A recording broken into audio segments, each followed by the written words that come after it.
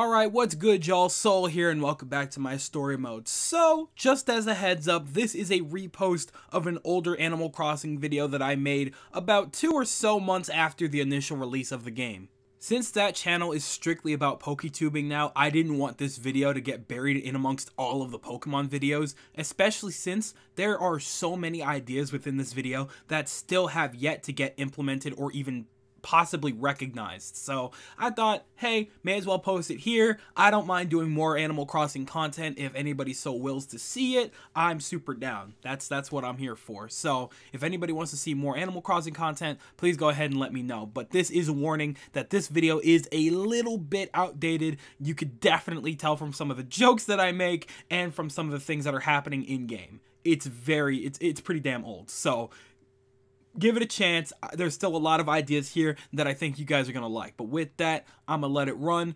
Thank you for giving it a chance. I hope you enjoy. Go ahead and take it away, past Soul. Everybody like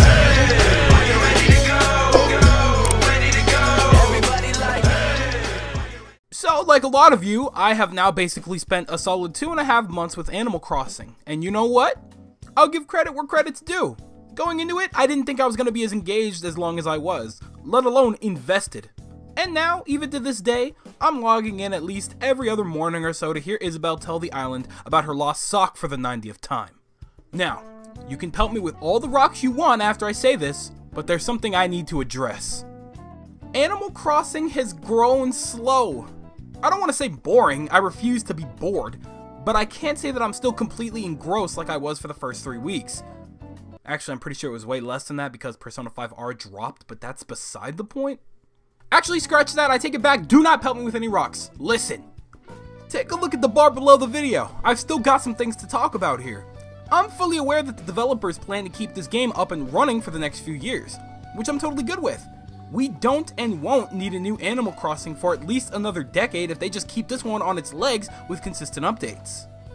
But my thing is, what are those updates exactly? And when for that matter? There's a good chance we'll go a solid 2 to 3 months without any real updates. And even when we do finally get something, it'll be some mediocre event that lasts no more than 15 minutes. Remember that Rover Island Maze event that was actually mildly interesting for maybe 20 minutes? Yeah, me neither. You did it once, you got your little reward, and that was that. You went back home to watch your villagers with your camera out, hoping they walk up to the plaza to sing KK Bubblegum again! Seriously, use a different song, y'all. It's old. It's cute, but it's old. So now here we are. The last event that comes to mind at this point is finding stamps in your museum, and honestly, I can't even bring myself to do that one. The most action we get are on those days where Redd finally returns to possibly give us some copyright fake art that we can't do anything with and we go back to hunting down the last two fossils that we need for our museum. Seriously, where are those motherfuckers?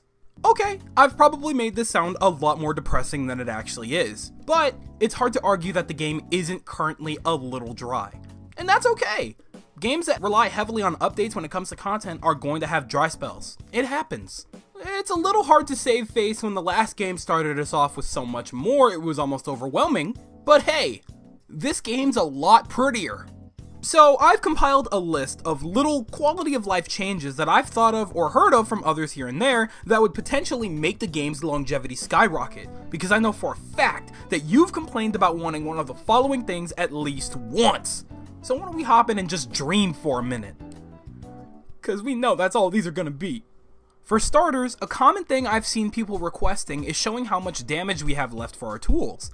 This is an old one, but this is something that's so highly requested because it's such an easy change to make. They went with the whole do-it-yourself aspect this time around, so I know for a fact at least one of those damn devs was up there checking out Minecraft. If there was ever a page for them to take out of that book, it should have been giving us a meter to show how much usage we have left in our tools so that we know when to prepare to get a new one. Next up, multi-selecting. This seems like something that should have been there since day one, why is it that we can multi-select when throwing things away, but not when we want to store things or take them out of storage? This isn't something that's too staggering, but it's a small gripe that's always going to make me question what they were thinking. We can accidentally throw away money, but we can't put away more than one bug or fish at once? What the hell kind of sense is that? Another common one is, we should be allowed to make more than one thing at once whenever we craft. Why in God's name would they assume that we only want to build one set of 10 fences? That's not gonna get me anywhere!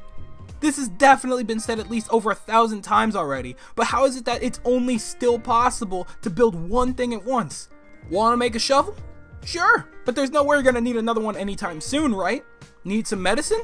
Absolutely, but only one, because there's no way your dumbass would shake another tree with wasps in it, right? Considering that I usually pick up the amount of material needed to make said craft about 4 times over, I think it's safe to say that this is an update that would only benefit everyone. Hell, make it an upgrade item like the tool wheel or something, so that we can make it possible to craft more by working for it, since y'all love to see us suffer so damn much. Alright, this next one is definitely more of a personal one since I have yet to see the request, but I think it would be a good idea to implement some kind of real mining tool, specifically a pickaxe tool. See how we get minerals and whatnot now? I'm not sure if it was really meant to be this way. Making two or three holes behind you just to keep yourself still so you can get everything that the rock has to offer? That's a little much for a mechanic that's so necessary right from the get-go. I know this is a mechanic that's been around since the previous game, but I propose a new tool that makes it so we no longer get lunged backwards 70 feet every time we just want to get some damn iron. Maybe, if you want to get creative, we could use that tool on other things, such as trees, or maybe some of those other rocks that sit on the edges of the island so we could get some other material. Hold up, I'm getting ahead of myself here. We don't need all that, just the pickaxes. Thank you! Next on my list here is a very highly requested addition, which is enabling us to pick out more than one thing at once when shopping. This applies to both stores. At this point, we can go into the store and pick out one item, such as a tool, and purchase it once. Or for some items like medicine or flowers, we are asked if we want to buy it in bulk. But why? If we had the option to just pay for more than one, the option of buying it in bulk wouldn't even be necessary. This problem also applies to the clothing store. You get the option to try on and buy one set of clothing. But why? Who in the right mind sits there, tries on outfits, pays for the outfits, and then goes back into the store to buy more clothes? I mean, it's not impossible or anything, but man, dealing with this on a regular basis? I already had mad respect for retail workers, but we should be bowing to them if they're dealing with that kind of nonsense. Y'all some gods! Usually, people would pick out one or two pairs of clothing, whether it be shirts, pants, or whatever, and a couple of socks. The shopping cart is right there, so why can't we just try it on, see if we like it, and then throw it into the cart? This seems so easy, but be honest. Are we asking too much here? I just figured this would be a more realistic approach to buying clothes. One could argue that we aren't allowed to purchase more at once because of our very limited pocket space. But, uh, we have storages. Why can't we just have whatever we buy sent to our storage at our discretion? If people want to fill up their space with 999 bag head masks, let them! They have a dream, and you're interrupting. Another stupid highly request is that we be able to consume more than one thing at once. Do I even need to say more for this? I would like more involvement with our villagers. You want to know why we bug our villagers throughout the day damn near non-stop, barely letting them take another step away before we start another conversation with them, only for them to get annoyed by the 12th time we've done so? Because we want to do more with them! We just watch them pace around all day, usually with aimless intent, hoping they do something interesting. And that only usually results in watching them sit down near a tree, fish and fail, chase a bug and fail, sit and eat, water flowers, or do yoga. You know, now that I put those together, that's actually quite a bit. But, point is, I want more interaction personally. There was an entire mechanic in the previous game where you could invite the villagers to your house and hang out. Why, why, why remove that? Look how cozy this shit is, man. You can't lie to me and tell me this don't look comfy. They could have dialogue on how much they like or hate about whatever room they end up in. I can't imagine that'd be that hard. Might be a little cramped, but I don't think it's that out there. Besides just sitting around a house with them, why aren't we able to do more with them? Like, play more games with them outside, for example. Some tag, maybe some hide and seek. Hell, it doesn't even have to be on our island. Let's use some Nook Miles tickets and go somewhere else. Why don't we have some kind of island to go to for fun little competitions like races or tag? It doesn't have to be complex. All of us on the island have Nook phones, so why is it that we can't call each other? What if I can't find them and I want to call them so they could let me know that they're just chilling in the museum and then we can, like, I don't know, go together? I'm starting to sound clingy. Oh boy. I think you've gotten the idea. Let's go ahead and move on from this. I would like more involvement with the working characters. I want to see Timmy, Tommy, Sable, and Mabel take lunch breaks, so I can see them wandering around the island for at least 30 minutes. I mean, Jesus, I don't think a 30 minute lunch break is too much to ask for. Besides the Able sisters, since we get the chance to grow close with them and learn their life story, I want to get the chance to know everyone like I know the other villagers. Hell, I even want Tom Nook and Isabelle to move from behind those damn counters every once in a while. Maybe going out of your way to befriend the workers gets you some kind of small benefits like discounts at the shops. Or maybe if you give Tom Nook or Isabelle an item, you get a random one shipped to your house the next day. I'm sure there's been better ideas on how to use this mechanic, but regardless, just like everyone else, they're living on this island too now. I assume. Right? Wait, they aren't flying home and back every night and coming back every morning, are they? Where the hell are they getting those Nook Miles tickets? Hand those over! Moving on here, I think there should be more fun ways to make money. Fishing and bug collecting is cool and all, but now that the Tarantula Scorpion method is patched out and CJ and Flick only seem to appear once in a blue moon, the best way to make money seems to be the turnip market. While it is nice to not have to worry about money for a while, I don't think we should have to abuse the system just to get the money that we need. At the very least, we wouldn't feel the need to abuse it if earning money were a little less tedious.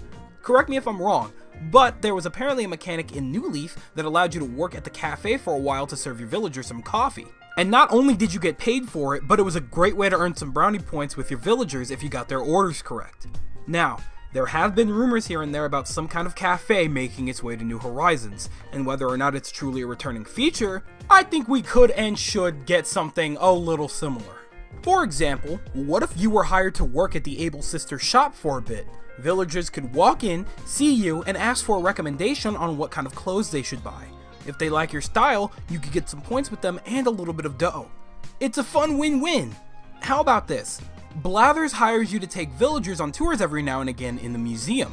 You take them in, and they ask you a quiz question regarding whatever exhibit they so happen to be most curious about. If you get it right, you get points with them, and Blathers is so impressed with your knowledge that he doubles the pay. I appear to be getting ahead of myself again. God. Anywho, there are quite a few ways that money can be earned besides just fishing and investing in turnips, because frankly, both of those methods are becoming hella expensive.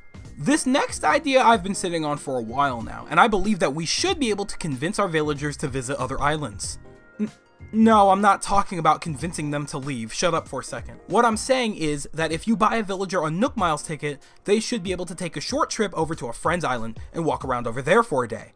They go over and wander around like a normal villager. Your friends can talk to them, and their villagers can get acquainted with them as well. And then they're making a boatload of friends. And then they come back the next day. When they do, maybe, just maybe, they brought you back a souvenir as a thanks for getting them the Nook Miles ticket to get them off the island for a day. I mean, seriously, they don't go anywhere.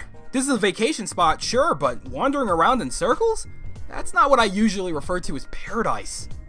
The final thing on my list here is simply just a request to be able to do more with friends down the line. After the maze from the May Day event, I constantly thought to myself, man, this would be hella fun to play with other people if it were like a race or something. And I'd build the maze myself, but that would require me to basically ruin my island for a one-use maze that I'd have to refresh every time I'd want to use it for something. So maybe we could have some kind of like generated islands that we could fly to with friends to have a maze race with, or a regular race, or maybe a tree cutting contest, or maybe just somewhere new to catch bugs and fish where the host doesn't have a very clear advantage.